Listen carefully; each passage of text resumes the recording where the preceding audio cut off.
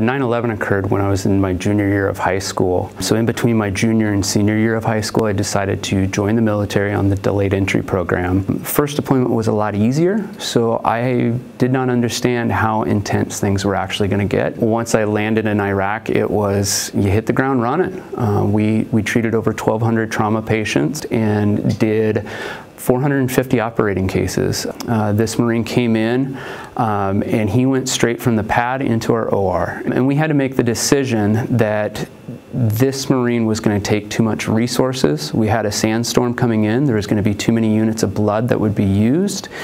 And in turn, we had to make the difficult decision to let this Marine pass. At that time, I was holding his dog tags in my hands. Coming home, it was very difficult to try to think, why was my life spared? I went to his grave and sat there and began crying.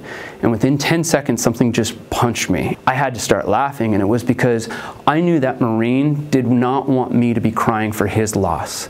Later on, meeting Staff Sergeant Richardson's brother, that's when I learned that thing that hit me at the grave. He said that was my brother, and he would not want me to be suffering and me to be having the anguish and the survivor's guilt.